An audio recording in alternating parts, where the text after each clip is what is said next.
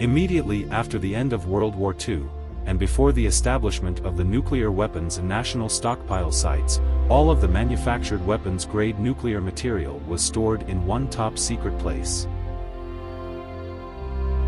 Today, that super top-secret location is no longer a secret at all. In fact, the location is here, right underneath this McDonald's restaurant in Los Alamos Canyon.